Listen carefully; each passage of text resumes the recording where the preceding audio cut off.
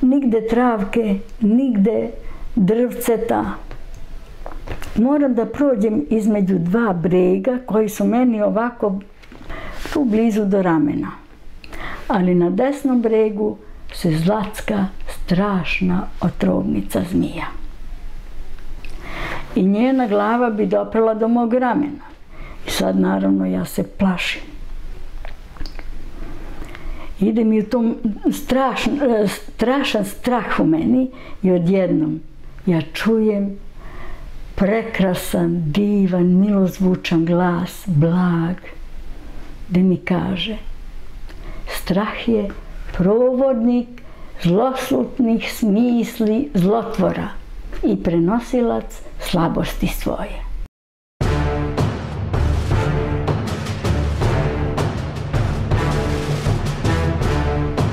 Ja bi najprije da spomenem našeg velikog poslenika što se kulture tiče i zbivanja u, što se pesme i svirke tiče. Darka Macuru Morlaka, kako je on volao za sebe da kaže, koji nas je napustio pre koji dan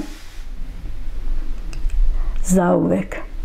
Ne ostvarivši ono glavno zbog čega je, čini mi se, živeo prosto. Darko Macura je zaslužio mnogo počasti. On je, zahvaljujući njemu smo u stvari dobili ulazak stare pesme srpske, izvorne pesme, ulazak u prosvetu, u školstvo. Njegov projekat je to bio i to se ostvarilo pre deseta godina. A ono što nije ostvario, to je muzej instrumenta. On je imao instrumente, nešto do hiljadu instrumenta je imao. Sve vrste e, svirala, frula, gajdi, e, e, zržičanih instrumenta. Imao je neobični, neobične gusle, jednostrune, dvostrune, trostrune. Čudesan je bio i želo je da napravi instrument, da napravi muzej za instrumente i da napravi jednu malu, kako bi rekla, školicu za instrumente, za izgradnju instrumenta. E, uvijek je govorio, decu moramo naučiti. Deca nose misiju predaka. Pogotovo onih koji se bave starom kulturom. Želo je da decu podučava gradnje instrumenta, svirci na instrumentu i mnogi tajnama koje je samo on znao kao neko ko je dobro poznavao srpsku svirku iz raznih krajeva, pošto je poticao iz Kninske krajine, iz Kradina volio je svoj narod, voleo je tu nošnju. Živeo je u stvari za to. Pisao je i pomagali su mu svi iz kulture koji su mogli da mu pomognu da napiše projekat. Svako ministarstvo deseta godina je pisao svakom ministarstvu i svakom ministru kulture. Ministri su se menjali, odgovor Macura nije dobio. Na kraju su ga posavetovali da napravi jedno udruženje i da putem udruženja tog on to svoje stvari. To je bilo previše za njega. A pogotovo za neko ko je sačuvao toliko veliku tradiciju srpsku. Da sad pravi udruženja, da ide od vrata do vrata, to nije mogao zaista. I u tome, eto, on je otišao, ali e, on ima učenika van toga, ima puno onih, ima e, profesora, profesorki etnomuzikologije, koje su sa njim radile, on je također grupu MOBA ostvario. Ja se nadam da će to njegovo učenje da živi. Jer dok je čovjek živ i dok hoda, dok ga svi znaju, i ne može uvijek baš sve da ostvari. Ali kad ode, e, ta njegova putanja onda ima mnogo veću svetlost nego dok je bio ovde. Tako da se ja nadam da će macoženo delo da zaživi. To sam bila dužna da kažem o njemu jer smo bili e, poslanici na jednom istom poslu.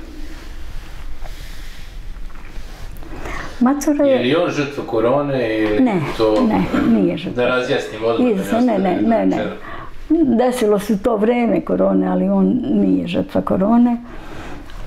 Jednostavno popustilo je srce, nešto se dogodilo, i, ali nije od korone. Što mi je baš drago da nije od korone. Macura je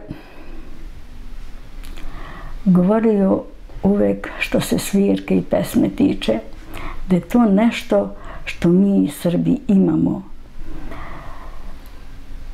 Vrlo značajno, vrlo eh, sistemska stvar. Šta znači sistemska stvar? To znači imamo sistem za postojanje do kraja veka.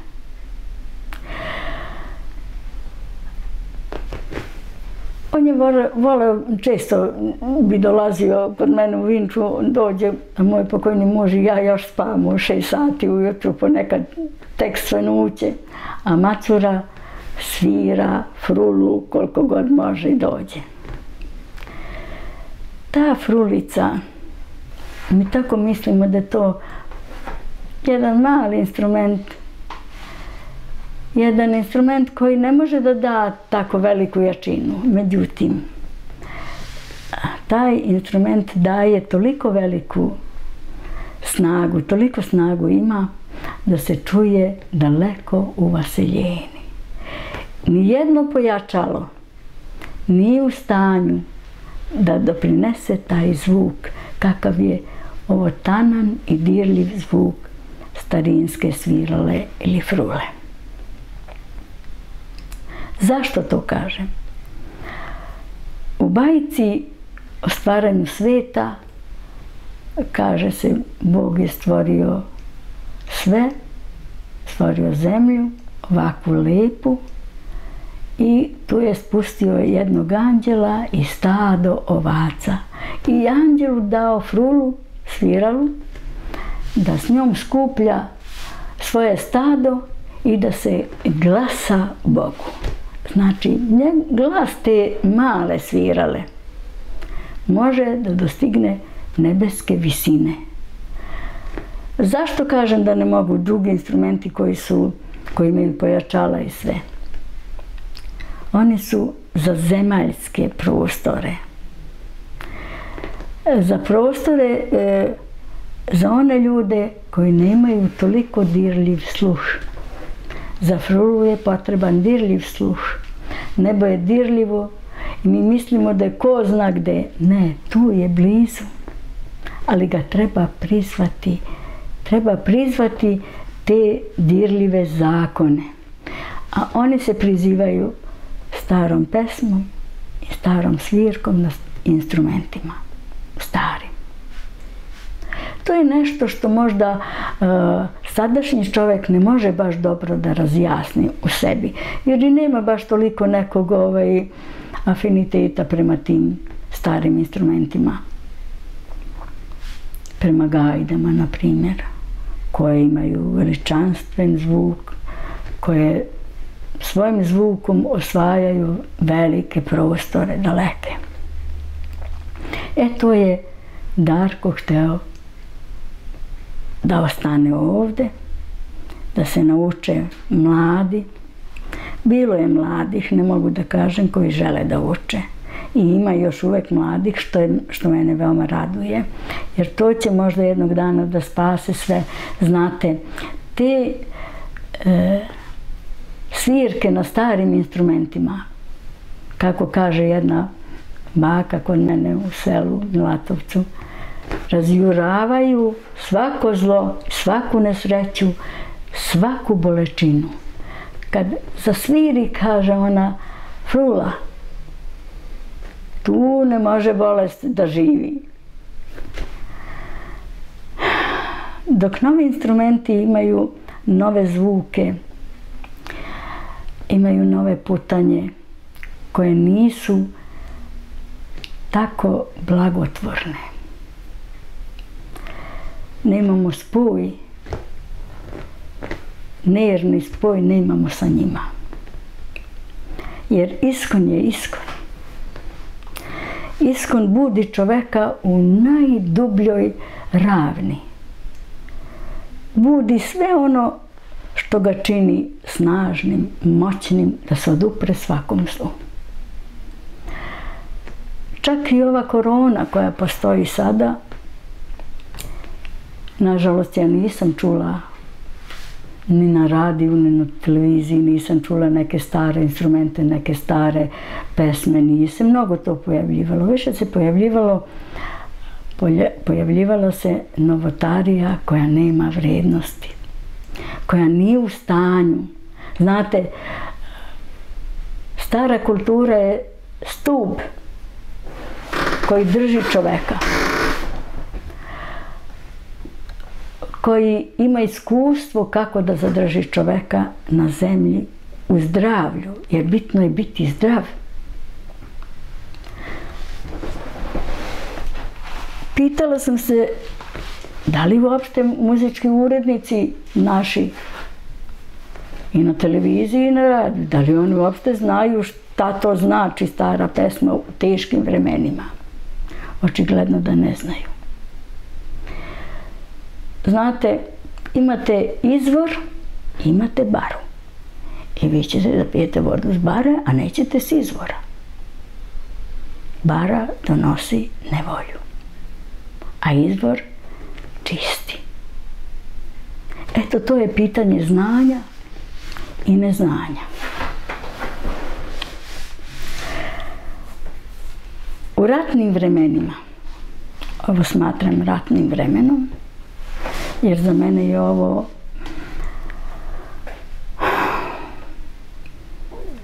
biološko-hemijski rat i psihički rat koji je opasniji.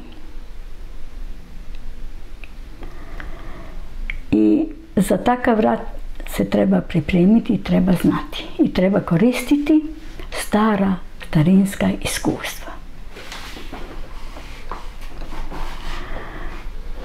U tom vremenu idu pesme koje su posvećene uglavnom beloj vili,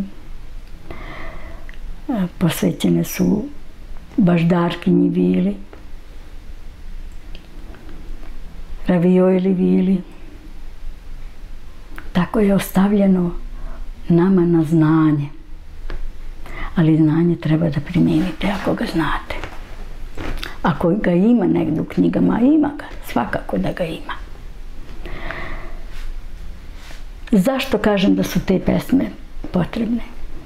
Kad sam naučila pesmu Bela Vilo, rekli su mi, nemoj da je popevaš slučajno na svadbi nekoj ili negde u nekom veselju. To je odbrana, sine. To je odbrana i ona se popeva onda kad je teško stanje, ratno ili ne daj Bože, ropsko stanje. Mi smo sad u ropskom stanju. Pokorila nas je takozvana korona ili oni koji stoji iza korone. I zato tada idu pesme i instrumenti koji su moćni, koji mogu da razveju te smrtonosne oblake. Idu gajde idu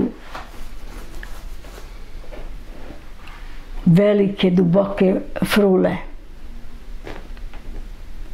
Idu i obične male frule, koje mogu čak i u kući da da se izvode. Inače, gajde se obično nisu u starini izvodili u kući, jer to je instrument od koga, Bože, možete dogluvite. Isto tako se nije Bela Vila pevala u kući, jer to su bili veliki glasovi, snažni, isto može da se ogluvi. Nego samo napolju. Zato se zove njen glas poljski glas, jer ona je za napolje. E, negde sam čuo davno i mm -hmm. čini mi se da ima istinu u tome da onaj ko ne osjeti frulu kad je čuje jednostavno da se ne može nazvati Srbinom. Jeste. Ako ga ništa ne, znači... Ako ga ne dirne to, zvuk, ako ga to ne dirne, jer ako je ona iskonski instrument, ako je Bog dao anđelu uh, frulu, da on svija svoje stado, da se ne bi uselio nečastivi. Zato mu je dao. Znači, frula je odbrana. Onaj ko je iskonski srbin, u čim žilama teče ta krv, ne može da noseti frulu, da ga ne dirne u srce. A onaj ko e, to zaista ne može, ne znam, umešalo se nešto drugo u njegov koren. E, sada nas uče da je naš e, tradicionalni instrument truba. Trubu nam donose tek u 19. veku, pa sad nam traže da smo mi svirali trube i za vreme Nemanjića i tako dalje. Ali istina je zaista da ti limeni bendovi dolaze tek u 19. veku u Srbiji. Naravno. I kažite mi, e, kako to da više se ne, ne spominje frula kao nacionalni instrument? Gajde, za koje čak ja nisam znao, pa sam radio jednu emisiju o tome. Mm -hmm To su izvorno naš instrument hiljadama godina i... Kako da ne? E, oni su zamenjali orkestar u stvari, da, pa da pa nije bio potreban... Nije bilo ni svadbe, da, ni sada, ni bilo čega da... Jeste. Gajde. Gajde su jedan veličanstven instrument, zato sam i rekla da su one, one su snažne i kad one razviju svoj zvuk, tu se tera svako zlo beži od njih. Od zvuka beži svako zlo. O tako, ali znate, zvuk mora da bude blagotvoran, mora da deluje blagotvorno na čoveka. Zato je prva frula. Ona je blaga, ona je dirljiva i tako uđu u memoriju da, da je to neverovatno. Ona je prva, znači e, blaga je i e, dirljiv. To, je, to mora čovjek da bude toliko istančanog duha, toliko da bude istančan da bi mogao e, sva svojstva e, tog frulinog glasa, da tako kažem, da primi i da usvoji u sebe. Ima raznih frula, ima i one koje su duboke, koje su velike. E, zatim ima ove koje daju različite zvukove, različite tonove. Onda imate kao što su i gajde također postoje, u sebi različite gajde postoje. Imate dvoglasne, imate karabe, imate dvoglasne, imate troglasne gajde. To je moj pokojni muž istraživo gajde i on je pisao o njima. Gajde su također jedan divan instrument koji je po našem predanju ostavila košava. Vetar, košava ostavila je gajde, ona je izmislila gajde tako u pričama stoji, ona je svirala u gajde i kaže kad košava razvije najveć, gajde sa najvećim mehom, zna da duva i 21 dan dokle one ne puknu, a onda sedne u neko trnje i dok ih ona krpi, ostali vetrovi duvaju polako. Zašto su sve, ste nekad razmišljali, zašto su sve nevolje e, u našem narodu ženskog roda. Evo to mi sad nešto pada napad, kada ste rekli košava. Interesantno je da sve što dolazi... Pa interesantno, pa nije, nisu baš sve. Nisu da znate. U predanju nije baš tako. Nisu baš sve. A sad ću da vam kažem. Sveti Ilija je to napravio. Sveti, Sveti Ilija ovaj, pošalje ga Bog da vidi šta se događa na zemlji, kako je na zemlji da li neko, da li još nešto treba da se stvori i kako živi narod. I Svetilija dođe, kad preko reke treba da prođe, u ne može, tu se svađaju djavo i žena. Niti ona hoće da popusti, niti djavo hoće da popusti. I ne može da se prođe. Svetilija mane sabljom i odseče glavu jednom i drugom i ode kod Boga. Ponese naravno glave i ode kod Boga i, i ispriča mu šta se desilo dole. Kaže Bog, pa kako si mogu to da uradiš? Pa, I oni imaju još dance, ne, nisu da, još moraju da žive na zemlji. Kako si to smeo da uradiš? A Svetilija kao gromovnik, silan, snažan. Pa kaže, nisu mi dali da prođem preko reke. Vrati se brže dok ih nisu sahranili, dok ženu nisu sahranili, vrati se brže i vrati glavu na mesto. On dođe na zemlju i u brzini on stavi e, žensku glavu na glavu nečastivoga, a nečastivoga stavi na njenu, njen trup u stvari. I sve one žene koje su iz njenog roda nisu blagonaklone ni dobre. A nečastiv je lip, kao žensko. I zato vara. On lako prevari svojom lepotom, fizičkom. Eto, to je priča. Jeste spomenuli Svetog Iliju, da li je to Sveti Ilija ili je Perun bio? Pa, Ko od njih dvojce nosi mače? Perun je bio to. U narodu to je malo kasnije. Malo kasnije. U narodu je to tako ostalo Sveti Ilija, jer ne zaboravite da je e, ovaj, da nije se tak, tako lako primilo hrišćanstvo i nije se tek, tako lako zaboravili bogovi. Ostalo je makar u priči ovako, pa sad ime se promenilo, ali sećaju se oni. Ima pesama posvećenih Perum Bogu. E, da se vratimo na frulu i, mm -hmm. i, i, i trubu. Zašto nam se sada kači truba kao nacionalni instrument? Lepo mi to sviramo, stoji da je to najlepše. A jednostavno ta frula mi nekako ne, sve manje i sve manje se sve čuje. Manje. Znate, što se trube tiče, za mene je to politička stvar. Ja se izvenjavam, tako ja razmišljam. E, truba je nama nametnuta. E, kao snažan instrument, instrument koji daje jedan metalan zvuk koji para zaista e, para nebo, ja bih rekla, sa tim zvukom. On je možda samo za napolje, za neku igru, za... Za mene to nije naš instrument uturen je da bi potisnuo, vrlo svesno je utureno, da bi potisnuo sve ove druge instrumente o kojima sam govorila, da li su to tamburice, da li su to gajde, da li su to, eh, da vam kažem, eh, laute. Mm, laute su bile u celoj istočnoj Srbiji, u istočnoj Makedoniji i ovaj, potisnuto je sve, gusle, Gusle su naš drevni instrument, drevni instrument. I one su snažne i one su nosile istoriju. Laute su također nosile istoriju. Da bi se sve to potisle, znate, a, kao što kažem ćemane, na primjer, ćemane ili neko kaže ćemane ili laute, ali malo su različite. Ćemane su svirale i žene, kod mene su svirale žene Čimane. Gusle nisu, nije bilo dozvoljeno u predanju da žena uzme gusle. Samo jednu pesmu sam e, pronašla jako veliku, lepu, zove se Guslar. Kad je carica uzela gusle da bi drobila cara. To je jedna epska pesma, ogromna, predivna pesma. Inače, zašto nije bilo dozvoljeno da žena e, uzme gusle u ruke? To je muški instrument, junački instrument.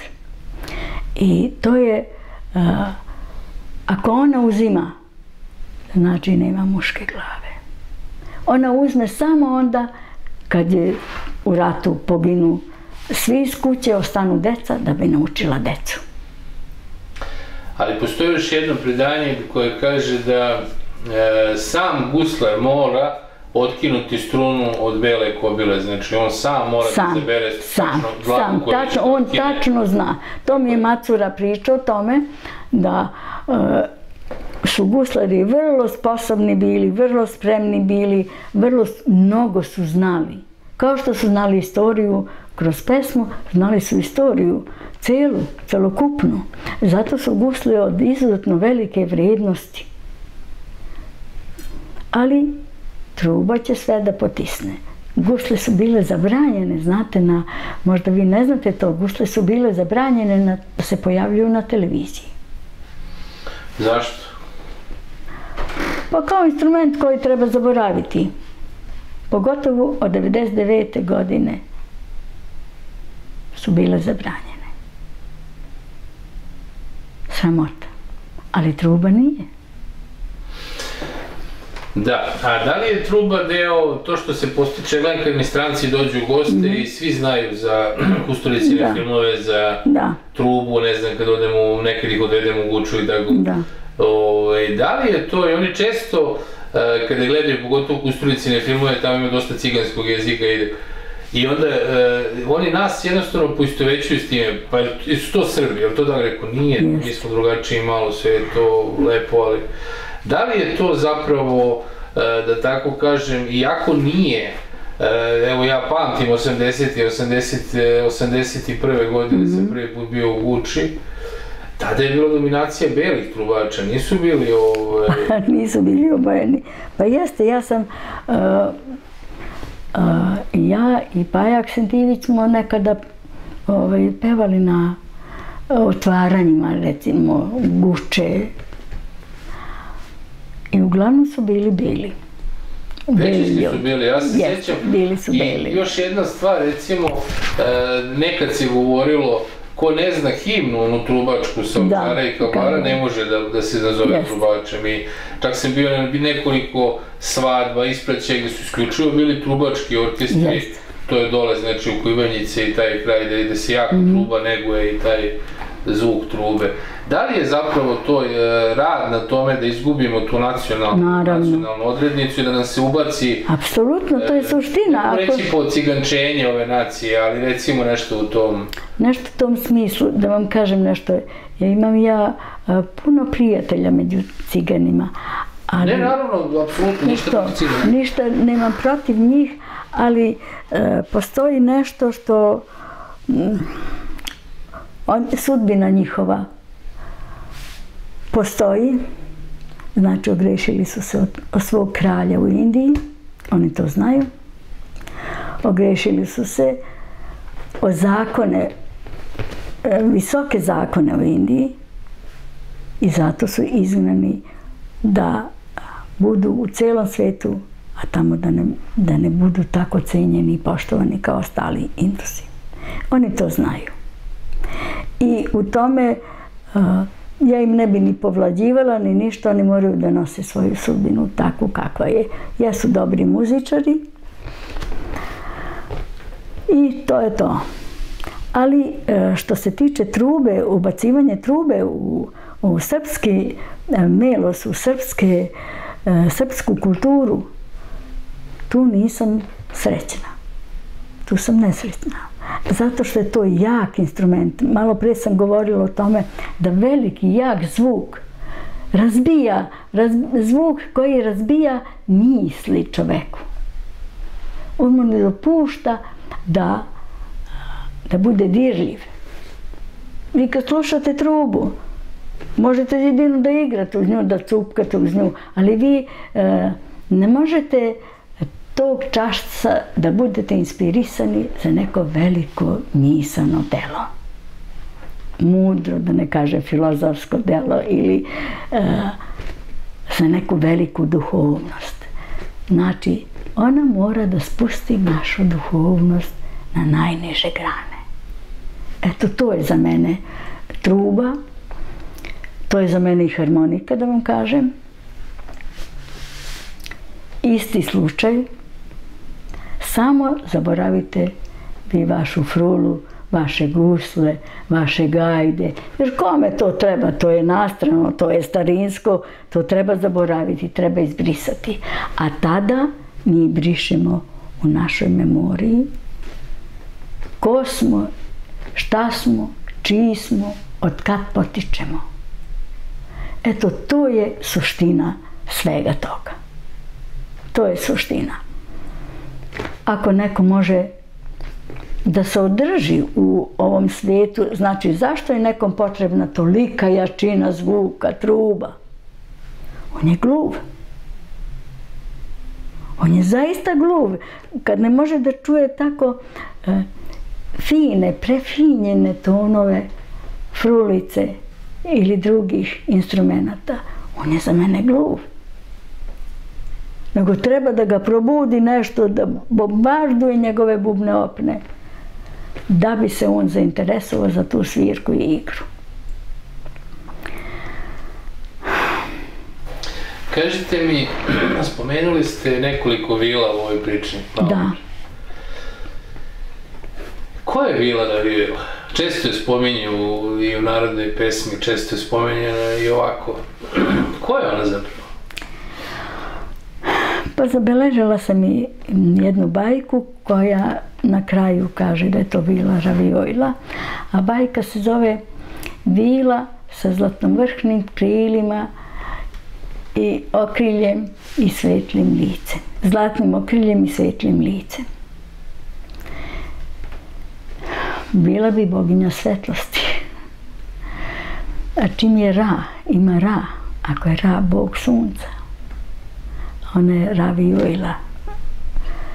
Ona kojoj, kad se neka devojka ovaj, lepa, očešlja sa dugom kosom, kaže, gle, Vila Ravijojla, ona je imala kosu do peta. Zlatnu kosu do peta. To je starog predanja boginja. U, svim pe, u mnogim pesmama je opevana kao zaista oličenje velike boginje, boginje svetlosti, boginje dobrote, boginje ljubavi. U toj bajci koju sam zabeležila, sunce se zaljubilo u vilu sa zlatnom vrhnim krilima, zlatnom vrhnim krilima i okriljem. A, dok se kupala u jezeru, zasvetlilo je njeno lice. I sunce se zapanjilo kako ima nešto svetlije i lepše od njega. I zastalo je tada i gledalo u jezero i ugledalo vilu kako se kupa. Poželjalo da se oženi s njom. Ali na Božjem saboru nisu mu dali.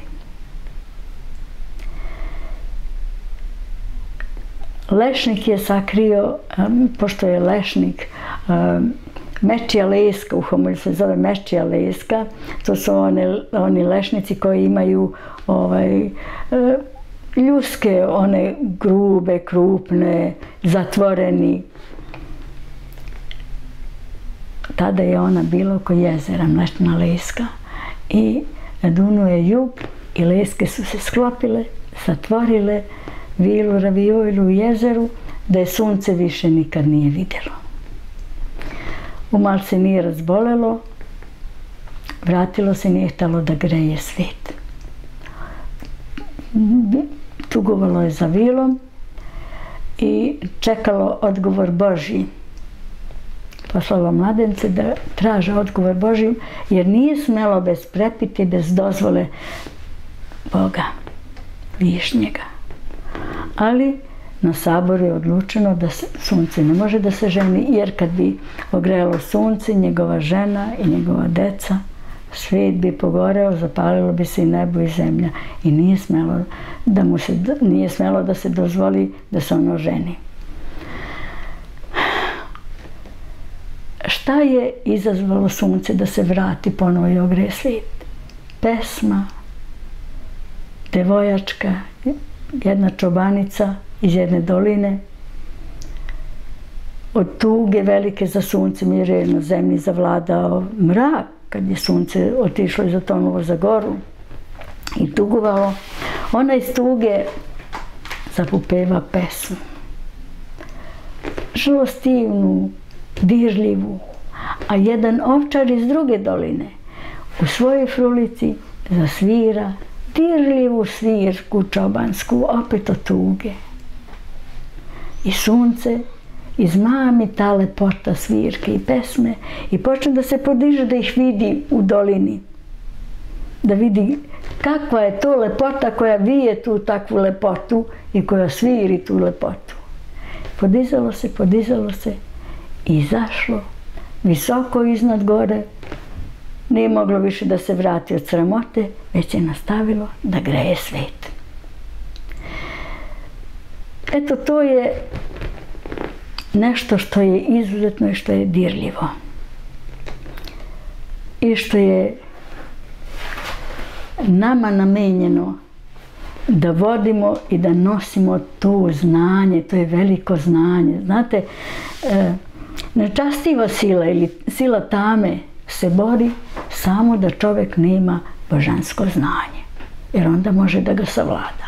Ako ima božansko znanje, ne može da ga savlada. Jer je onda on jak, neplašljiv, nestrašljiv. Eto to je Vila Ravioila i priča Vili Ravioili bajka. Ko je bio sve i predsjedavao na tom saboru koji nije dozvolio suncu? Ko sačinjava taj sabor? E, sabor je sačinjavao, znači, pored Boga koji je, naravno, višnji Bog glavni, sabor je sačinjavao e, Sveti Ranđo, Sveti Petar, i Božje naredije, tako kažu. Znači, Božje naredije su bogovi kojima verovatno u hrišćanstvu nisu smeli da govore. Što znači vid Bog, perun Bog i daj Koje, Bog. Sad ste naveli, znači, hrišćanske imena. Jeste. A kažete nam srpske imena tih bogova. Perun je srpsko ime. Perun je srpsko ime. Perun, vid Bog, daj Bog, rod Bog. Jer on je Sveti Ilija. Sveti Ilija je hrišćansko. Dobro, ali radi se o istom uh, Naravno, božanstvu. samo o istom božanstvu, samo što je uh, primilo hrišćansko. Dobro, ako je Sveti da. Petar u stari veri? Sveti Petar je malo čudesno, sad da vam kažem. A, to je stvaralac, a, zašto se kažu Petrove vrućine? Petrove vrućine se kažu, a, tada je najjače sunce, najveća sila nebeska, ide na zemlju. Od vidova dana do Petrova dana je stvaranje sveta se dogodilo. U vreme Petrovdana je stvaranje sveta. Kad je, zato imamo lile u oči Petrovdana. Bog se radovo dok je stvarao e, čovečanstvo. Bog se svemu radovao. E, sad, um, ja ne bi znala, smela tačno da kažem ko je Sveti Petar uh, ili Bog sa pet glava.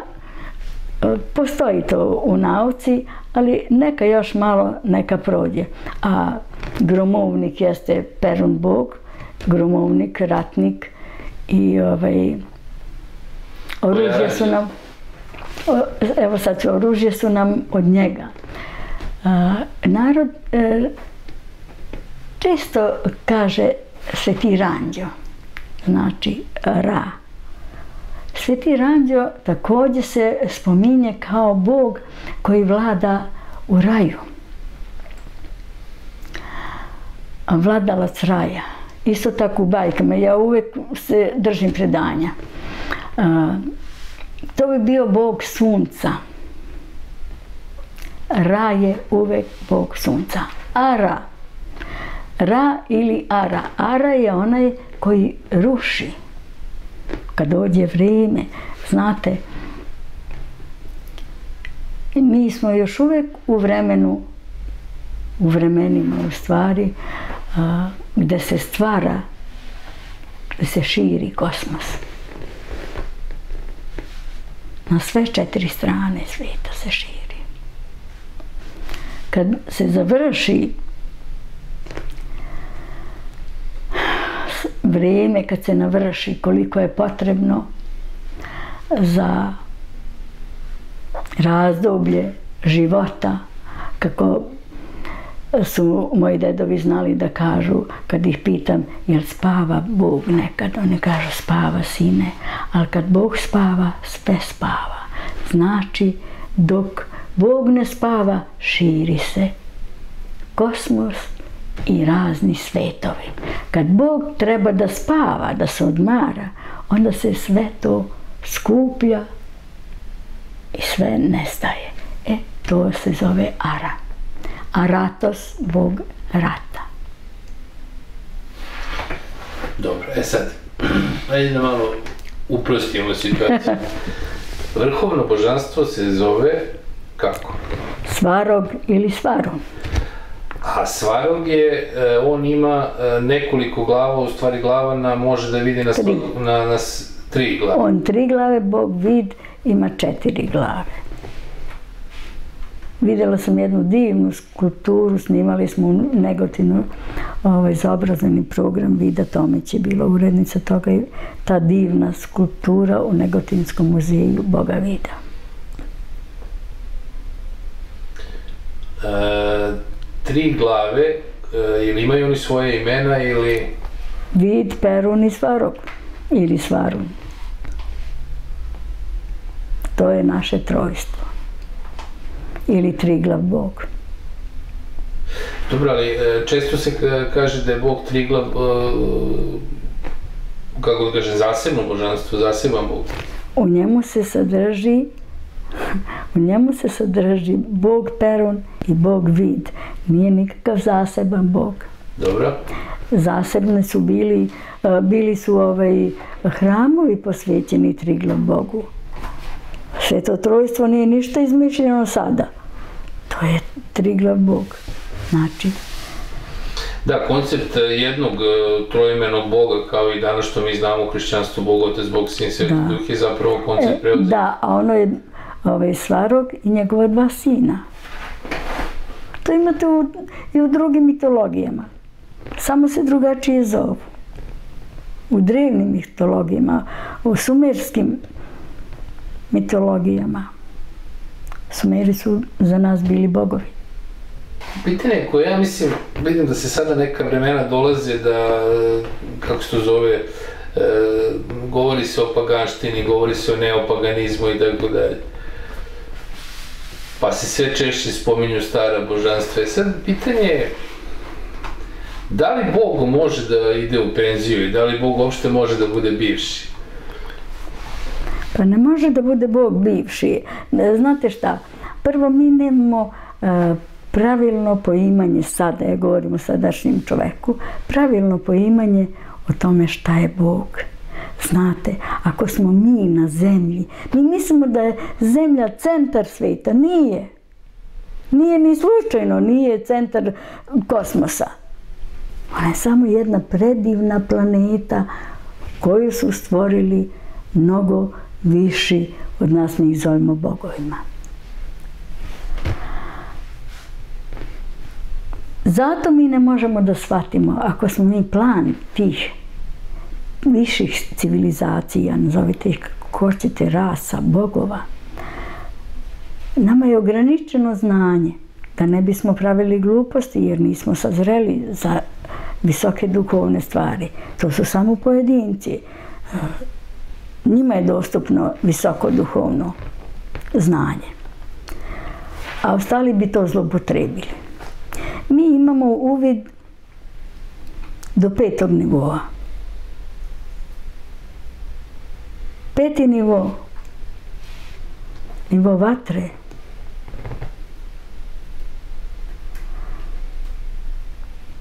mi u to nemamo uvid. Nemamo, čoveku nije dopušteno sa zemlje da ima uvid. I ne može da shvati kako izgleda biće svetlosno. Biće vatre. Ima još nivoa van petog, ali mi to ne možemo. Ne, da se ne zavaravamo. Dovoljno ne, i ovoliko ne možemo da shvatimo, ne možemo da razumemo šta to znači. Znate, e, Sveti Petar, kako mi sada kažemo, Petrovdan, pripada tom petom nivou. Nivou vatre. U najvećim, najdivnijim bajkama mojim stoji. Nisu moje, naravno, ja sam zabeležila. Da je svet nastao iz vatre. Naš svet. Znači, Srbi o tome govore. Nastali smo iz vatre. Ali mi ne znamo više od toga mnogo. Znači, ne možemo to da dokučimo. I mi mislimo, to je sve samo energija i ništa više. Pitanje je, da li je samo energija ili nešto više? Ili mi ne možemo da znamo kakvi su životi na tim višim planetama od naše planete, kakvi su životi na tim, u tim e, drugim sistemima. Mi znamo za ovaj sunčev sistem. A kakvi su životi? Kako je to dalje, van toga? To nama nije, nemamo uvid u to. I možemo da pričamo, da izmišljamo razne priče, ali mi u to nemamo uvid. Eto to je, znači mi nemamo uvid ni to kad kažemo Bog. Mi nemamo uvid pravi, istinski, kako izgleda taj Bog. Ostavljeno nam je mnogo. Ako su nam ostavljene rune, ako nam je ostavljeno pismo, sve to, sve su bogovi ostavili jezik, govor, govor koji je govor je veza svakodnevna, svakoga časa sa našim stvaravcima. Ali nismo to osvestili. Mora, čovjek mora da osvesti neke stvari jer smo zaboravili. Muke su nas naterale, razne muke, vekovi, hiljade godina, da zaboravimo ono što su naši preci znali mnogo. Nisu im bili potrebni fakulteti ovakvi kakvi mi sad imamo. Nisu. Imali su veliko znanje. A mi sa svom ovom školarinom, školstvom i svim e, televizijama, novinama i tako dalje, obaveštenjima raznim, mi ipak nismo na nivou naših drevnih predaka. Nemamo to znanje. I ili ćemo znači to znanje povratiti, Kada pričate o drevnim predsima, mislite na one od kojih smo potekli ili na naše pretke, znači babe i Znate šta, a, a, naše babe i dede su znanje primali onako kako su ih učenosti tako primali istinsko, iskreno, potpuno su primali u srce svoje i tako prenosili nama. Znači, od davnina, od svojih božanskih predaka, je išlo postepeno nit zlatna, kako ja kažem, se tanjila. U svakoj hiljaditoj godini se tanjila nit zlatna, ali je ostala još uvek. Još je ostala, još nismo nestali i još nije nestalo to božansko seme u nama. Kada ste rekli nije samo energije, e, pa mi nemamo ili grešim. Mi e, našom morfologijom jednostavno i sastavom tela mi nemamo sposobnost e, mozga da, da prihvatamo više osim tog energetskog nivoa. E, da, mi samo tako možemo da prihvatimo. Možda neko može, jer koliko sam ja razgovarala sa učenim ljudima, srpski mozak je najveći mozak i ima mogućnosti koje drugi nemaju znači da možemo neke stvari možda da shvatimo, ali to ne svi ljudi, to mogu pojedinci. Kakav je bio Nikola Tesla, Pupin, kakav je bio Milanković. Znači to mogu oni koji su zaista, kako bi ja rekla, došli iz tih božanskih sfera. I rodili se ovde da nam nešto... To se uvijek događa kad, kako možemo da razumemo na Božjem saboru, se odluči da se neko pošlje na zemlju, da izvrši dužnost. Svaki čovjek ima zadatak, mali ili veliki, ali ima mali zadatak. I on mora da ga izvrši do kraja svog života. To je tako. Kako ga ne izvrši? Onda će u sljedećem životu imati duple muke. Znači, morat će da vrši ovaj zadatak i sljedeći koji mu je namenjen. To je tako. Znači, ako sam vas dobro razumio, mi smo sad trenutno negde između tog prvog i eventualno drugog nivoa. Pa da, ali mi možemo da shvatimo i, i treći nivo, možemo da shvatimo. A dalje se posle učimo. Šta je treći nivo? Koji su nivo Pa ne snovi? Molim? Koji su nivo snovi? A snovi su jedan deo života, to je, e, kako bih rekla, um, naš um ima ovo svesno stanje, to je stanje, snovi su stanje uma. Svesno stanje, stanje u snu, onda ima stanje, kako bih rekla, e, neki zovu to pro, ovaj, prozorljivost, neki zovu uh, stanje vizija. Znači, tada je u stanju taj neko ko je vizionar ili vidovit veoma, on je u stanju da e, skupi informacije iz dalekih svetova nebeskih, koje nisu baš toliko daleko da, da mozak ne može da registruje, on je u stanju da to sve ovaj, sakupi i ono što treba da saopšti, da saopšti. E, bez vizionara ne bismo mogli ništa da stvorimo. Ostali bismo na onom nivou nikakvom početnom, jel tako? E, to su ta tri stanja i Indusi kažu da ima još jedno četvrto stanje uma izvan, znači izvan ova tri. Ali to izvan znači to može samo možda neki veliki, veliki, veliki mudrac ili neko ko se ovde rodi da nešto stvori iz opet božanskih sfera. A kažete mi, šta je stvarnije? Kaže, san ili ovo što mi danas zovemo jav? Da vam pravo kažem, za mene je jedno i drugo jednako. Ja tako živim od detinstva. I sad ću da vam ispričam, mogu jedan sančić kratak. A, početak ovih naših ratova 80. kraj 80. godina.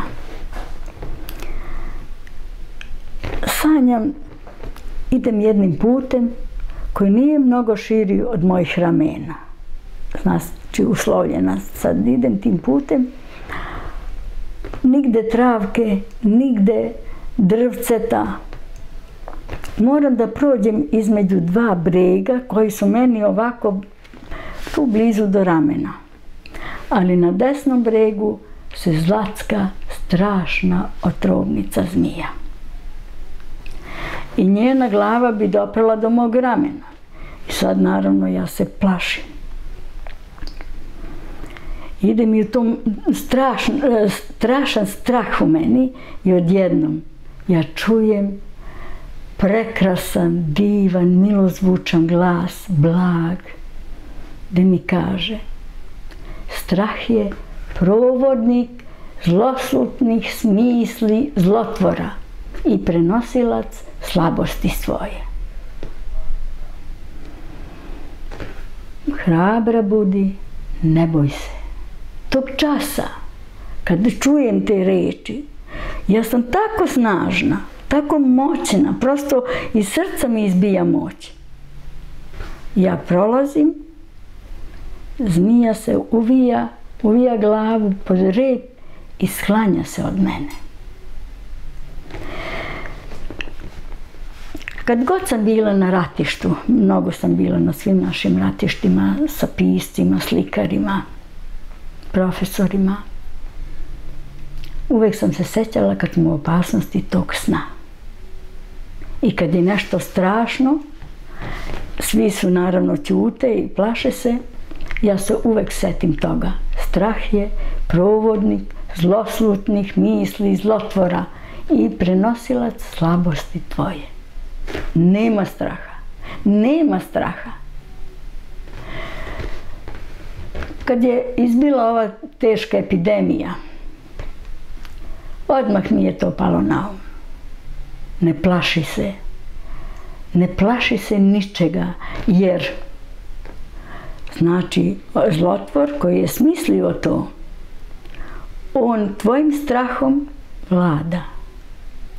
On je taj koji je zlotvor, a on je taj koji očekuje da dobije izveštaj da si slab. Ne budi slab. Ne boj se ničega jer je božanska sila nad nama. Mi to imamo u iskonu, mi to teče nama kroz kičmu, do mozga. Ali treba verovati u to. E, to je sad na čoveku. E, ja sam primetio, evo nastavak vaše priče, ja sam jednu stvar primetio ovo vreme, kako ste rekli, ove epidemije, pandemije, igrarije, a to je da, da u koronu veruju oni koji ne veruju u Boga. Apsolutno. I da prosto kad neko krene da mi priča o tome, neko ti ne veruješ u Boga. Naravno. I kad me pitaju šta je, rekao je, veruješ ili ne veruješ, samo mi reci da znam, ne vredi da pričamo dalje. Jeste. Ako Eto. veruješ u Boga, ti ne veruješ u koronu, jasno ti da je to samo jedno glupavo iskušenje, upravo to strah. što ste rekli, strah. Evo, strah. Strah koji, je, uh, koji parališe čoveka. I čovek, on, onog momenta kad je paralisan, on i mozak mu staje, sve mu staje. I ona emituje svetlost. Čovjek mora uvek da budi svoju auru, da budi, mi imamo, u nama je toliko sa, sazdano blago, veliko, toliko je hrabrosti sazdano u nama od predaka naših. Samo treba da to izazovemo u sebi, da se setimo toga. Znate šta je naša slava? Bože, nešto najdivnije i najstarije. Pa slava nas uvek štiti, ali treba je prizvati. Treba je se pomoliti i pozvati je. To je sila velika. Znate, e, sve ovo što ja pričam, to su e, neka iskustva koje sam ja imala i u razgovorima, u susretima sa nekim mnogo velikim ljudima. Ja sam mnogo išla mnogo puta išla kod našeg oca Tadeja. Za mene je on bio svetac i ostao svetac. I cijela istočna Srbija od njega svetli. Te njegove pauke za mene su sve na svetu. Kad sam otišla nekih Išla sam mnogo puta i kad sam otišla nekih e, ovaj, 90-ih godina, on je tada govorio, deco, bit će velike nevolje. Da pijete svakoga dana vino crno po jednu čašu, obavezno, da ne obolite. Nevolje tek dolaze. Nismo znali tada baš odmah Možda je to bilo i 89. 90. i 92. sam kasnije išla.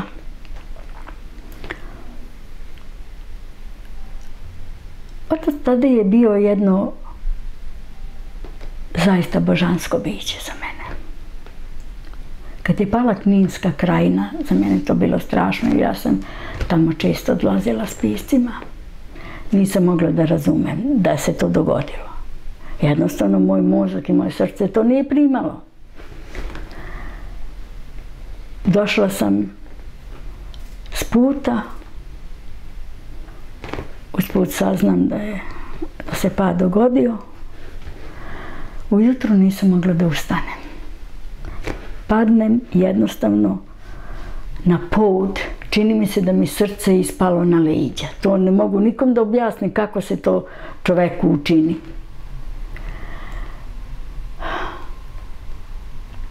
Zvoni telefon i javlja mi se e, urednica opšteobrazovnog programa Vida Tomić.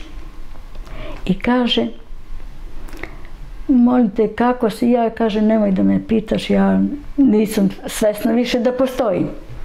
Kaže ona, ajde, hoću da te obradujem, kaže malo, ja bih htjela da idem kod oca Tadeja, da napravimo razgovor, da ide ekipa televizijska, da napravimo razgovor, e, sada sa njim hoćemo da snimimo tri emisije i da nas ti vodiš.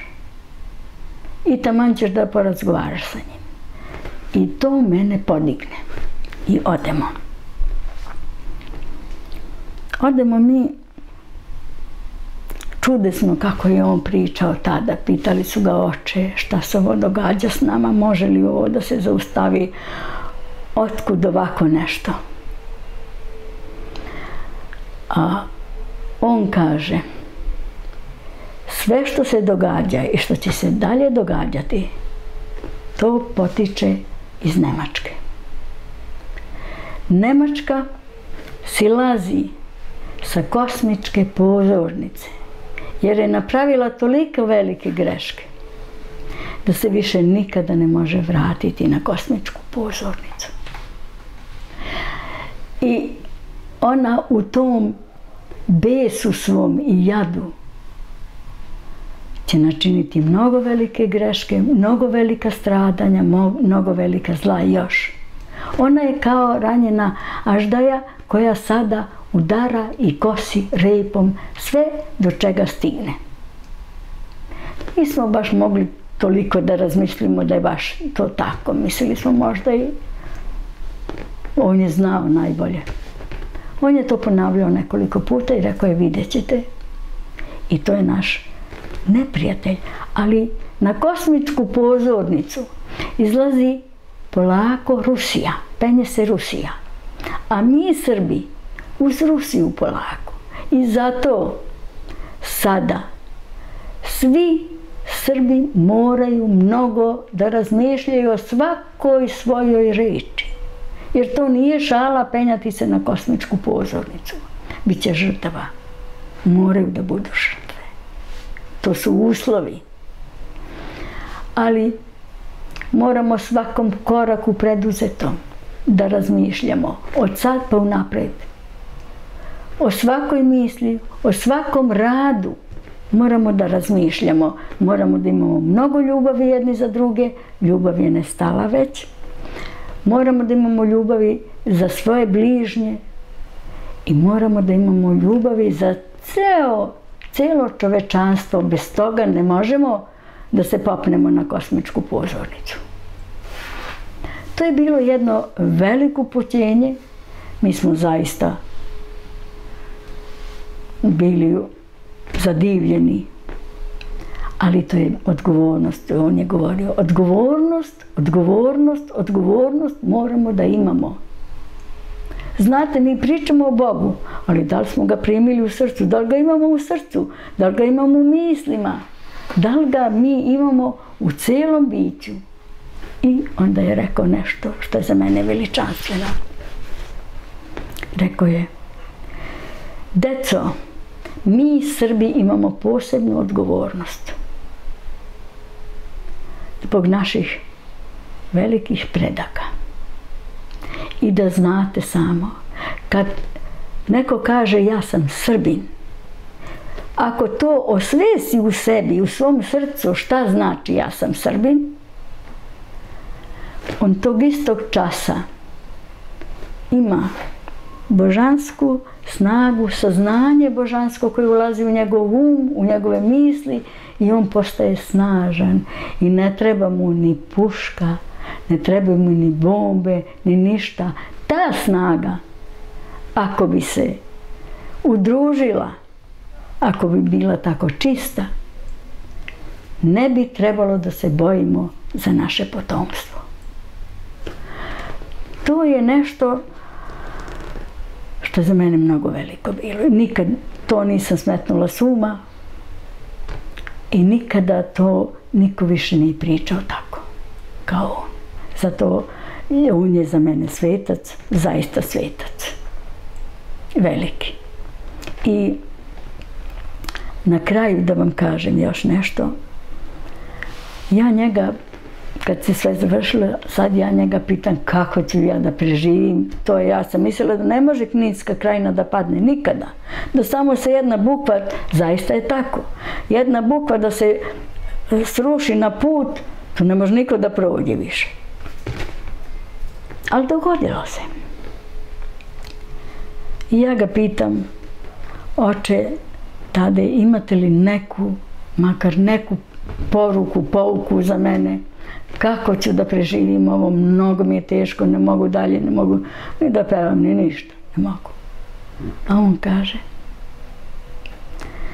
e, dete moje, ja bi voleo da nisam živ i da nisam ovo doživeo. Ali živ sam i ovo sam doživeo. Bog me neće, još imam zadatak. Nisam izvršio zadatak. Kad izvršim, onda je moje vreme da idem.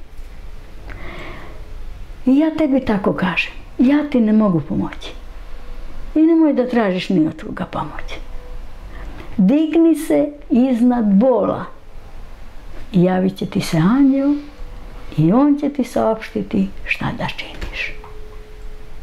Za mene je to bilo, ali ja sam se podigla tog časa. Ali kroz bol treba proći. To je velika muka. Što znači, mi Srbi valja da se dignemo iznad bola,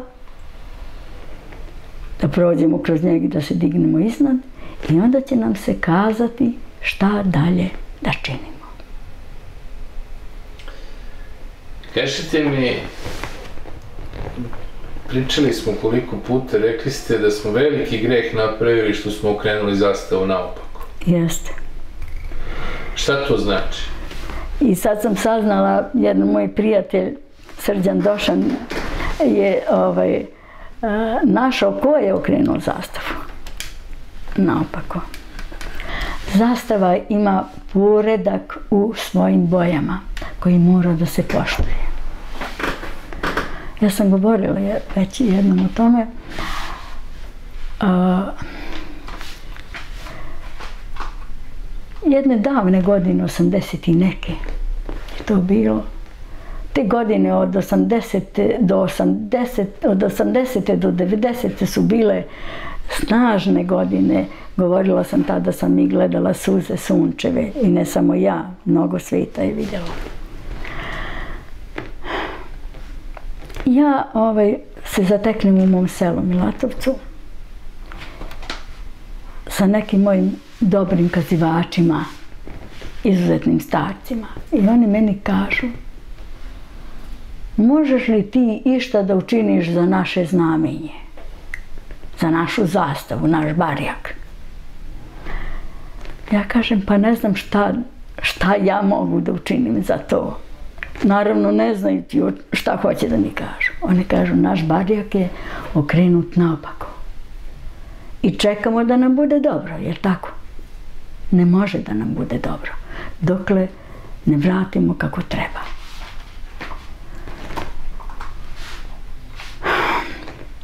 Šta ja treba da učinim? Ne mogu ja to sad da ispravim.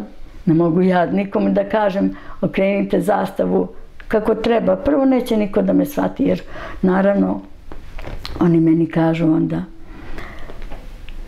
belo ne može da bude najniže.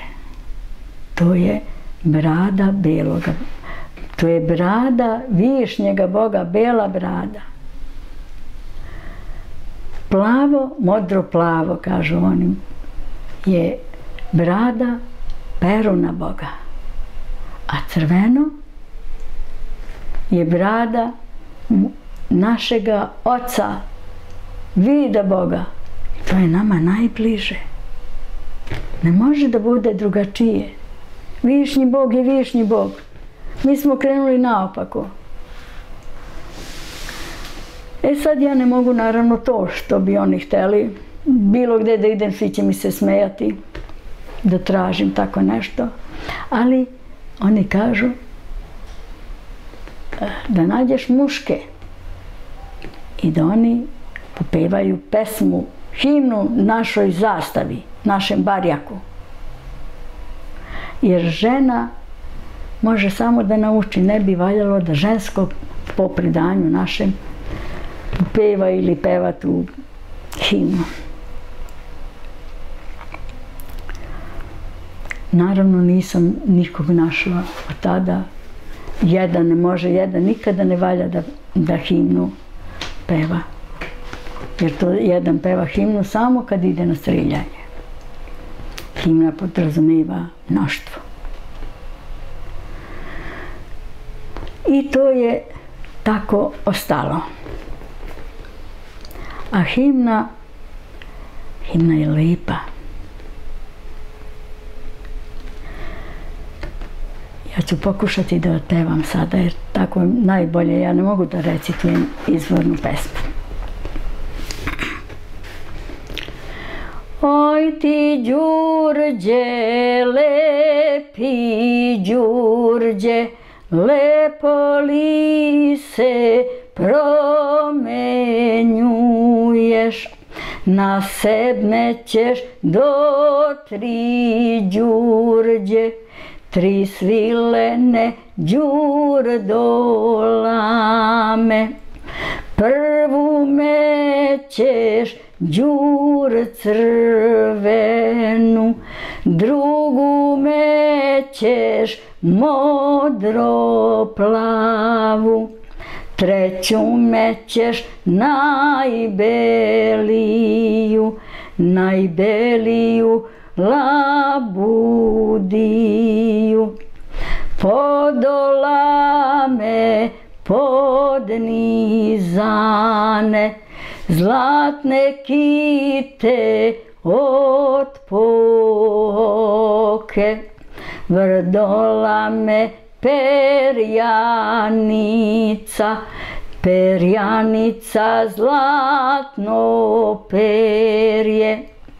Sred dolame srpski znamen, na znamenu carska kruna, pa se šećeš gore dole, da te vide lepe žene, da te vide svi junaci, da te nose barjaktari.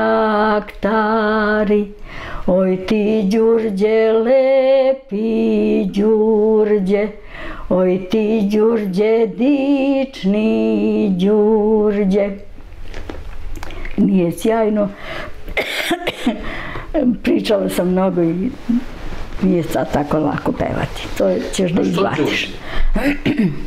Đurađ je Bog pobjede. Vidov. Barjaktar.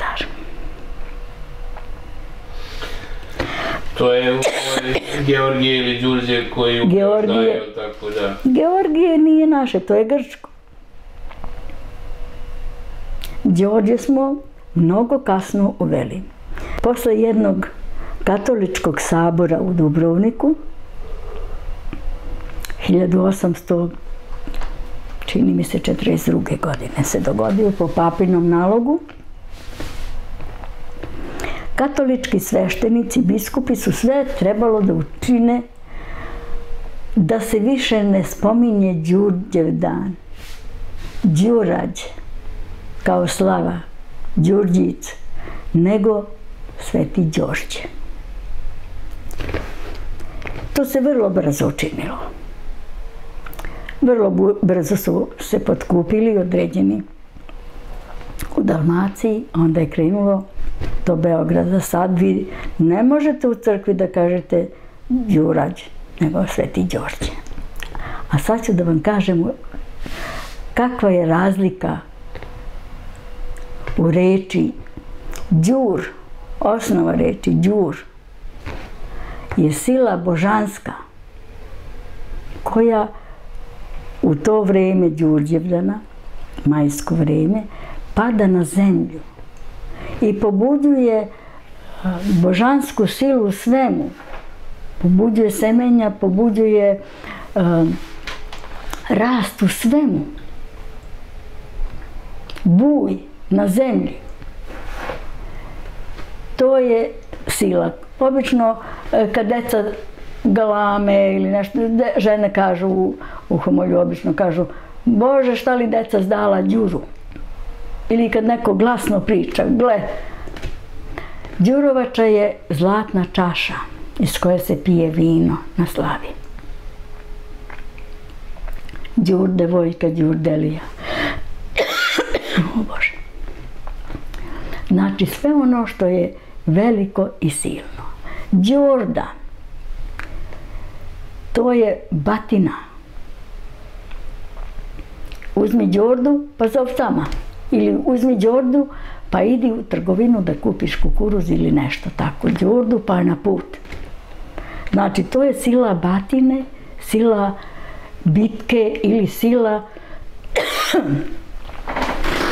koja je potrebna za odbranu zemlje. A ono je božanska sila koja dolazi kao maja da sve se pokrene, sve, sve dobro, kreću se možda i bolesti, ali to sve buja. I trava, i žito, i bilje, i sve moguće. E, to je razlika. Zašto je njima smetala, smetao Đur? Zbog toga, što je džur božanski. Čisto božanska sila. Kažite mi, u našoj ornamentici i znamenju ostali su znakovi, da da go kažemo, starih božanstava. Pa evo imamo jednu čarapu, to ste doneli pokažete kako su nekad izgledale stare čarape. Jeste, stare muške čarape su ovako izgledale. Podignite slobodno ovako. Dobro.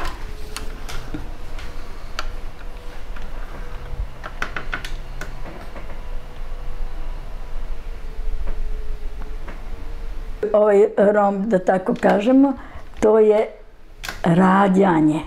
A ovo je daj Bog, znak daj Boga. Ova četiri romba ovako. Pa znači te e, što gledamo recimo i na onim čuvenim pirotskim čilimima i šta ti Naravno, to je sve znamen. To nije ona priča da su to, ne znam, e, gušteri, daždenjaci... Mako ješta što nam pričaju, ne znam, ono pa... Mako ješta. Pa- to su sve tolika znamenja, toliki znakovi koji su nam ostavljeni u vezovima, u, na keceljama ženskim, na suknjama, na košuljama i ženskim i muškim. Sve su to velika znamenja. Samo to su pisma naša. Samo što mi to sad zaboravili smo I eto, to je naš veliki problem. Izvinjavam se. Ovo. Znači, ovi znaci su znaci rađanje deobom.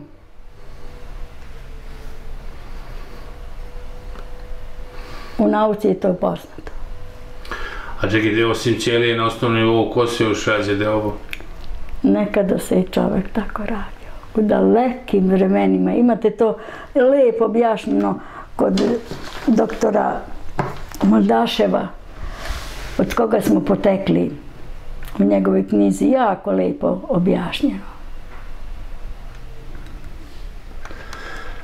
A kažite mi na kraju, ove, ko je nama okrenuo zastavu? Postoji ona priča da su nas eh, prva zastava, kad je još za vreme knje, kneza Miloša istaknuta da je bila tako, znači belo, plavo, crvena, ali onda da su se Englezi i Austrijanci bunili zašto imamo istu zastavu kao Rusku. Knez Miloš je Knez Miloš je okrenuo pod izgovorom. Naravno da je imao one Engleze i Austrijance u stvari imao nad sobom, ali on je to okrenuo po tim izgovorom da se Turci ne bi dosetili. Eto, da smo, a, mi smo samosvojni, nismo vezani za Ruse i tako dalje. Znači, normalno je, sad ću da kažem, zašto je to tako? Zašto su te tri boje? Zato što je bela brada, brada, znači višnjeg boga oca Svaroga, vladike Vasiljene, I ona je na hramovima Triglavu Bogu bila pokrivala ta bela maramica ili zastavica, pokrivala usta oca Svaroga. Plava, modroplava e, zastavica je pokrivala usta peru na Boga jer je takva njegova brada. A crvena, rujno crveno, oni su tako govorili, ona je pokrivala usta vida Boga jer je njegova brada rujno crvena bila.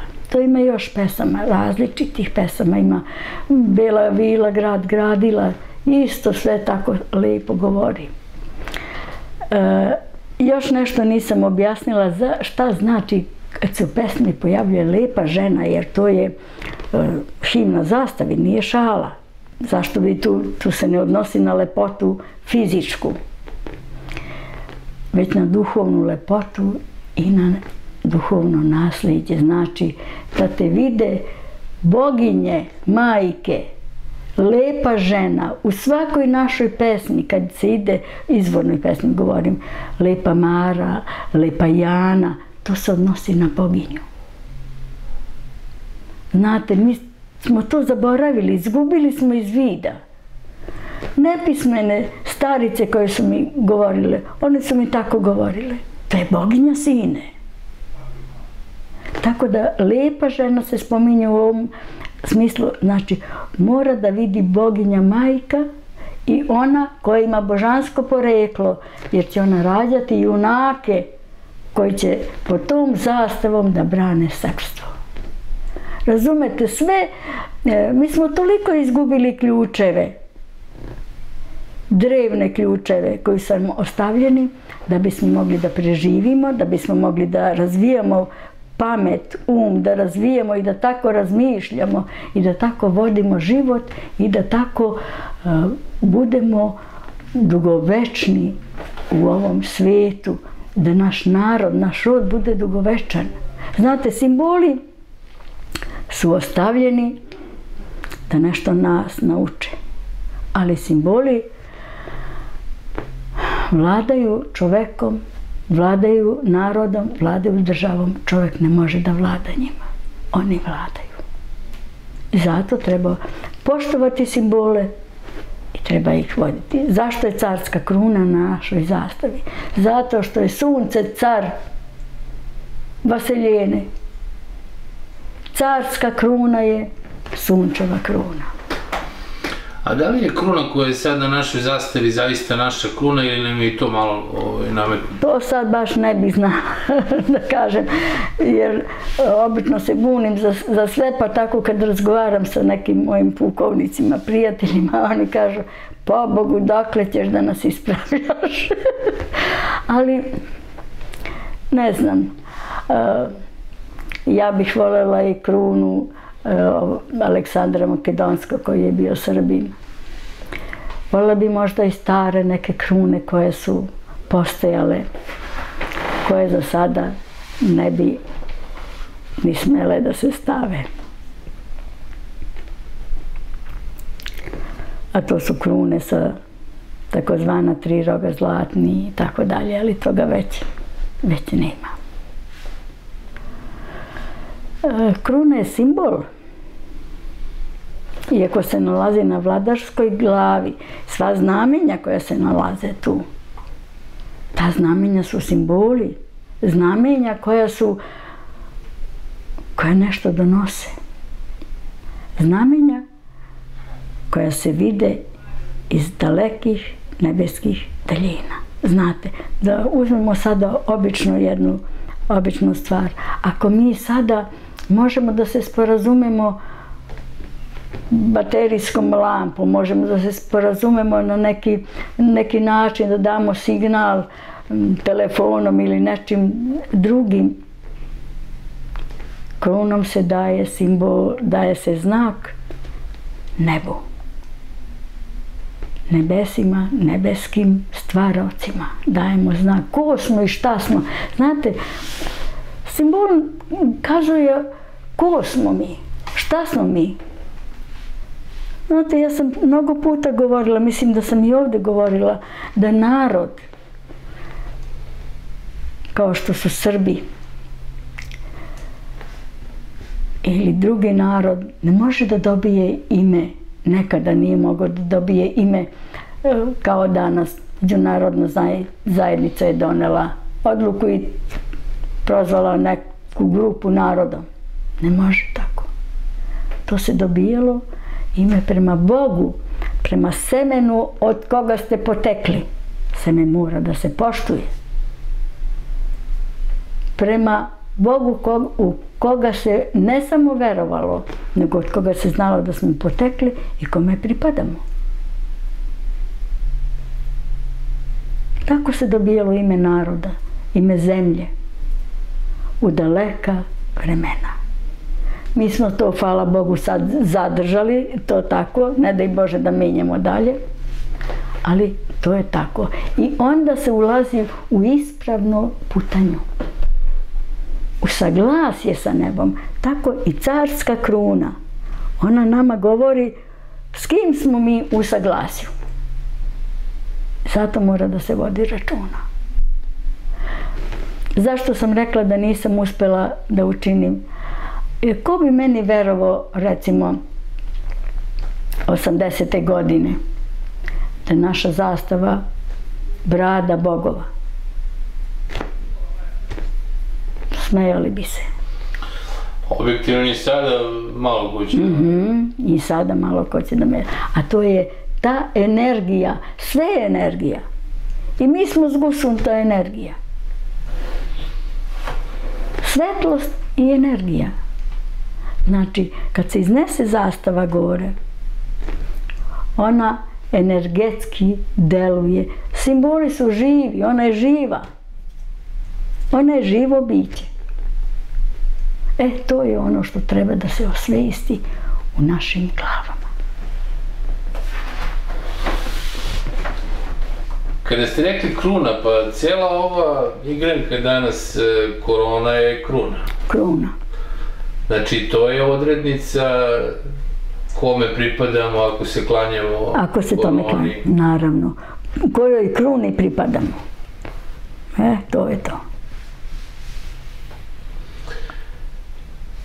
Da li će doći do, kako da kažem, do promene, energetske promene sveta? Da li se stvara novi svet? Je li vreme da ovaj svet nestane? Svi znaci govore ovaj, da bi bilo vreme da se nešto menja. Da vam kažem nešto. Ja sam to govorila, mi smo peta rasa na zemlji. Kroz nas prolazi već i dolazi šesta rasa koja neće dozvoliti da, da se ugasi čovečanstvo. Bez obzira što oni koji su ovu krunu smislili eh, žele da ugase. Neće da ugase. Mogu da poremete još nešto ali neće da ugase. Jer već su se ovde stasali kroz nas, su prošli visoki iz šeste rase. Šesta rasa će biti veoma plemenita, naučno neće biti potrebni naši fakulteti jer će imati e, sve znanje s kojim se radja i sad se rađaju ta čudesna deca. Posle šeste rase je ta sedma rasa, ali koliko traje jedna rasa, to, ja to ne znam. O tome odlučuju višnji. Dolazi sedma rasa koja onda završava život u kosmi, kosmički život i ide Bog na spavanje. Ali to je mnogo daleko vrijeme. Nek se, nek se ne e, uzdaju oni u svoje e, formule, u svoje e, te izmišljotine da će da potamane svijet. Postaje viši zakoni. Znate, opasna je stvar e, ako se prekrši viši kosmički zakon. To je mnogo opasna stvar. E, onda dolazi do zatre naroda.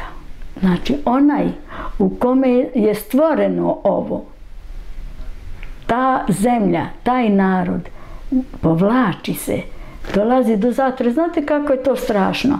Zakon zatre je nemilosrdan. On u stvari gasi seme u tom narodu. Nema tu medicinske pomoći ili ovog ili onoga. Nema. Gasi se seme u narodu i završena priča. Dođe, znači, nema rađanja više. E, to je strašno. Onaj ko je posego za ovo, on ne može da zamisli šta njega čeka, njegove i okolinu njegovu.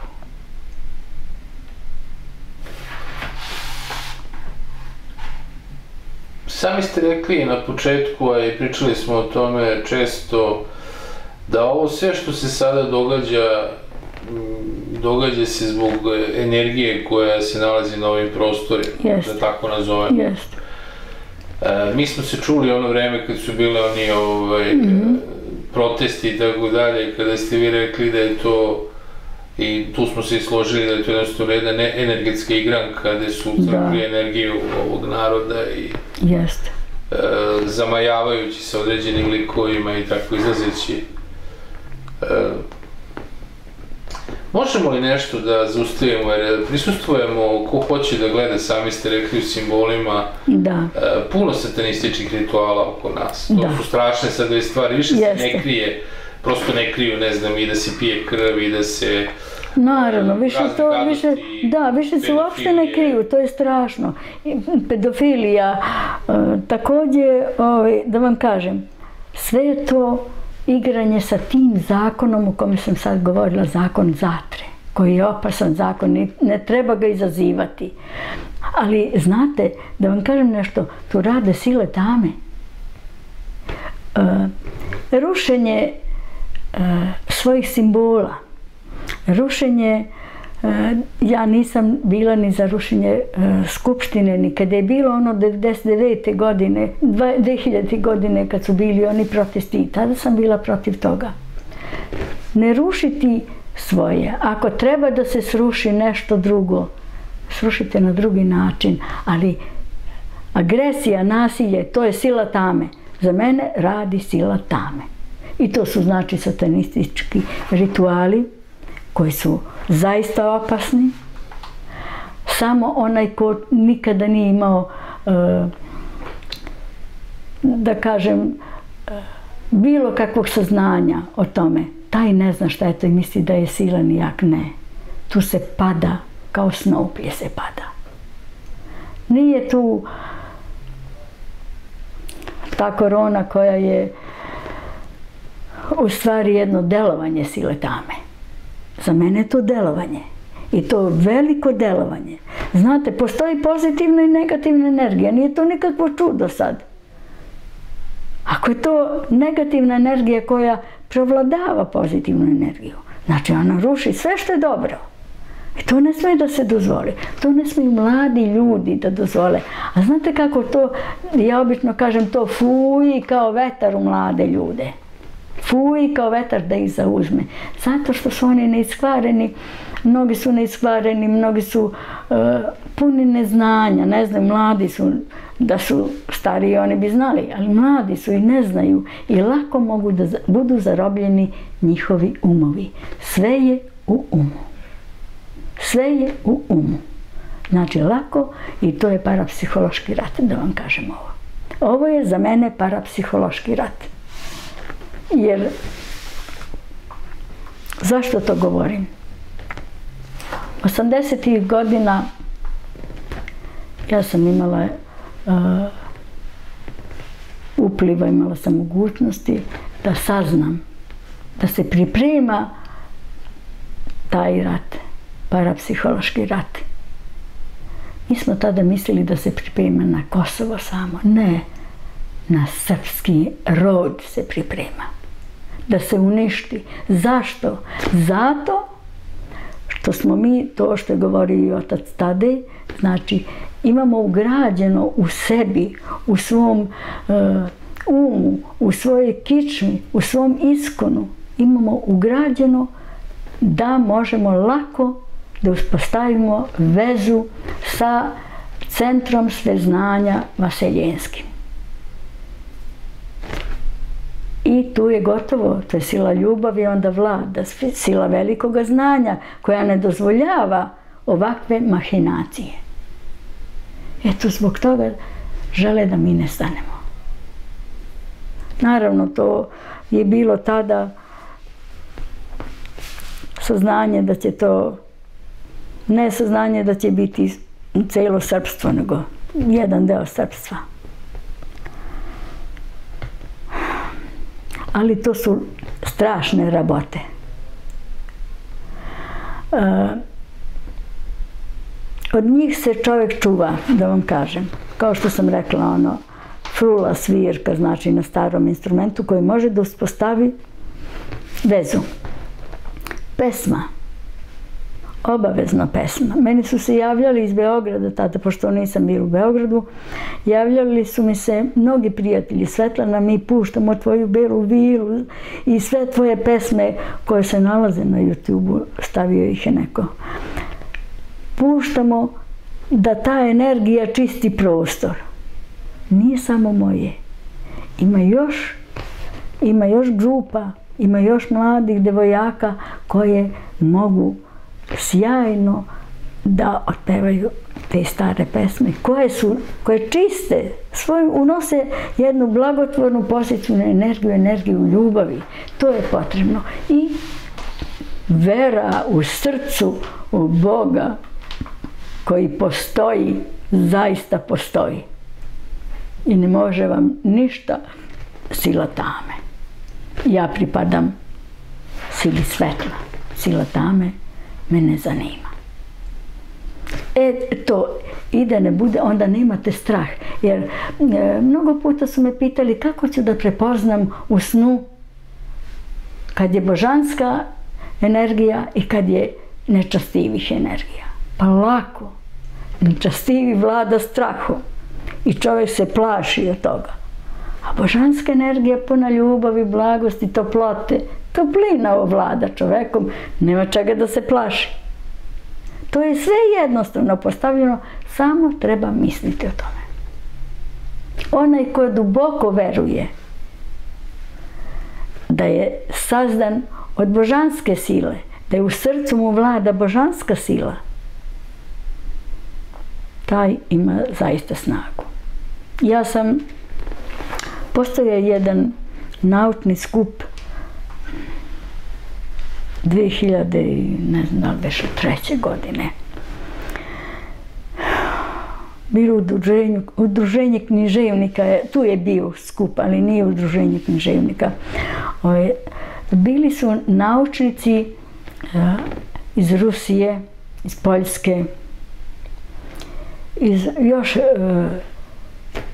slovenskih država. Bili su naučnici koji su posvećeni rodnoj veri. Šta znači rodna vera? Vera u kojoj smo rođeni. A mi jesmo rođeni. Ako su naši preci visoki, božanski preci, onda mi imamo uverenje o tome ko smo, šta smo i koga poštujemo. I to je rodna vera. U Rusiji je to jak pokret i u Poljskoj i u Ukrajini. I mislim da će samo taj pokret i uspeti da smiri Ukrajinu i Rusiju. I tada sam gledala, e, došlo je, e, došlo je jedno udruženje e, borilačkih veština iz Rusije. Oni su prikazali, imali smo i mi naše udruženje Svebor, ali nismo bili na tom visokom nivou. Ja sam gledala borbe njihove, misaone. Kogod je hteo da se upusti u to, bio je savladan. Samo se koncentracija misli, naravno oni kažu da imaju jako velike molitve, i razoruža sve, svako ružje, sam baca i sam pada, potpuno je omlitavio napadač, da mi ne može ništa. E, to je to o čemu je govorio otac Tadej. Znači, ako imate, ako svestite ko ste, šta ste, i osvestite u svom srcu, duboko osvestite tu svetiljku koja je ušla u ovo telo, prapočetnu svetiljku, da je ona čista, božanska, vi imate sve mogućnosti da se odbranite.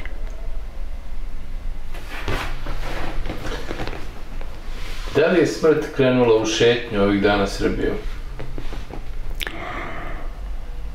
Pa krenula je od, od kad je krenuo strah od korone.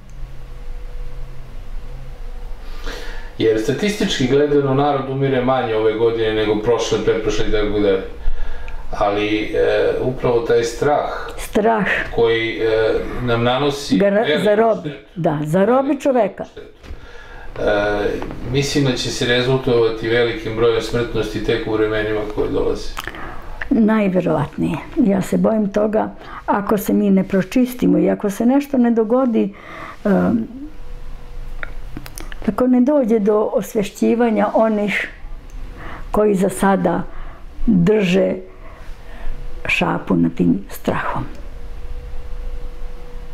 Jer kad strah vlada, ja sam rekla, čovjek se parališe, nema šanse da se odbrani, jer iznutra on ne širi svoju auru, svoju svetlost, ne širi. Ne širi odbrambeni mehanizam, nego ga zakržljava. Eto, to je strahota jedna. A ne vidim da je toliko velika smrtnost. Kažu, baš statistike da je i prošle godine bilo. A, da vam još nešto kažem, ja se sećam kad je počelo uh, bombardovanje, onda su meni mnogi slali poruke i čak je došla poruka do mene kakva vakcina treba da, da se ja koristim. Kak- Ne da primam vakcine, nego znači čašica ona ili šoljica mala od kafe male. Domaće crno vino. Pred samo spavanje. Obavezno. Ja sam to koristila imala sam vino iz velike koče domaće božanstveno Mesec dana kad ga nisam imala, ja sam se razbolela. Mesec dana nisam mogla ni da odem, da uzmem, niti bilo šta, gotovo. Jer e, tanini oblože glasnice i grlo iznutra. I ne može ništa da prođe. Nema virusa. I onda se setim kako su mi pričali u drugom svjetskom ratu su obavezno e, u selu e, deca morala da popiju jutru malo vinca pa da pođu u školu. Bojali su se tuberkuloze. Znači, staro znanje je mnogo bitno. Jer ste to rekli, e, pričali smo, rekao sam vam, imao sam taj energetski pad ili kako bi Mhm. sad ovi to zvali.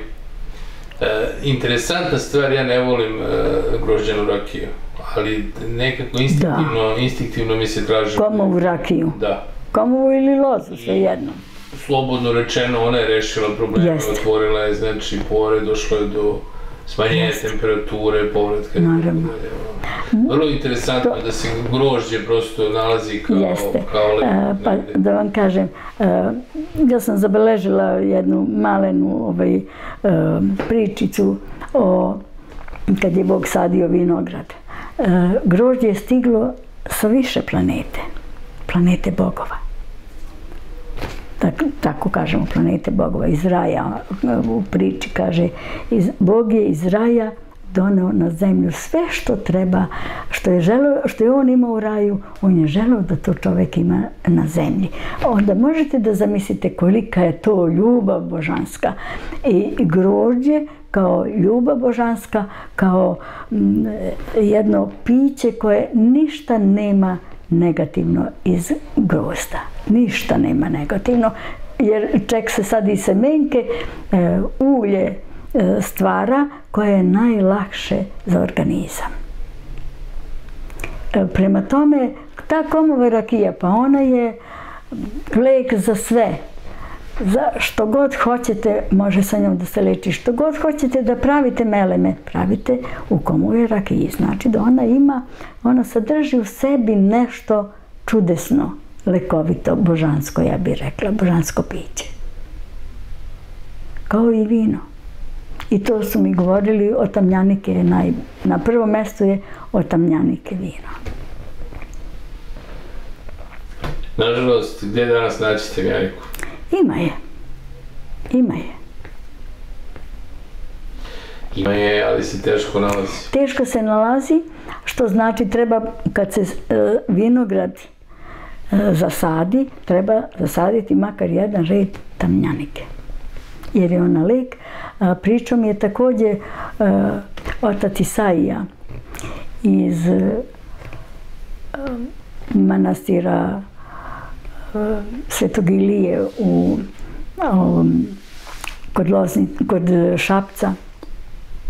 On mi je pričao u očagama kod Šapca, pričao mi je da su, kad je Černobil, kad se dogodila nesreća u Černobilu, da su iz Moldavije stizali kamioni sa i cisterne sa vinom od Tamnjanike. Morao je svako da popije po litar koji je bio što znači i naravno otac tada je govorio kad je ovaj, krenuo rat, on je govorio pijte svakoga dana da pijete čašu do dve crnog vina. Za ručak obavezno. Neće biti problema. Eto, to je i pozitivne misli su vrlo važne, ali sve ovo ostalo uvažavanje i znate šta, a, ove ovakve nevolje, kakva je korona, one čoveka prazne. E, šteta prva je što taj strah, taj udar, energetski udar, to nije to šala, to je talas. Znate, to je talas, to su vibracije. Putem vibracija se radi sve. One isprazne čoveka opustoše mu dušu i srce, ko to dozvoli, nema ljubavi. Čim nema ljubavi, nema vezu s Bogom. I biva slab. Eto, to je, to je moje iskustvo. Ja govorim o iskustvu mom.